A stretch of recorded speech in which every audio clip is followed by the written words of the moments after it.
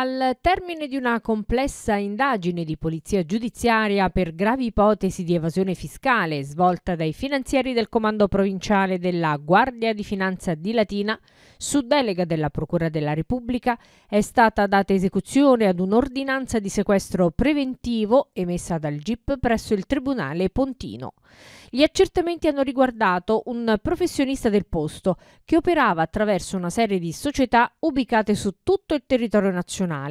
il quale, secondo quanto ricostruito dai finanziari della compagnia di fondi, avrebbe omesso di dichiarare al fisco i compensi incassati, circostanza questa che sembrerebbe confermata sia dalle indagini di polizia giudiziaria sia dalle evidenze emerse dalla successiva attività di verifica fiscale eseguita per gli anni 2000 2018 e 2019,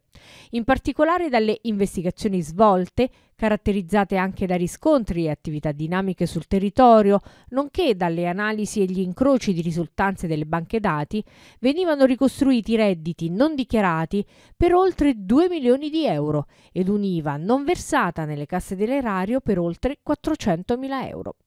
Rappresentate queste circostanze all'autorità giudiziaria, quest'ultima ha avanzato al giudice per le indagini preliminari presso il Tribunale di Latina una richiesta di sequestro preventivo finalizzato alla confisca diretta e nella forma per equivalente del denaro e dei beni frutto dell'illecito arricchimento.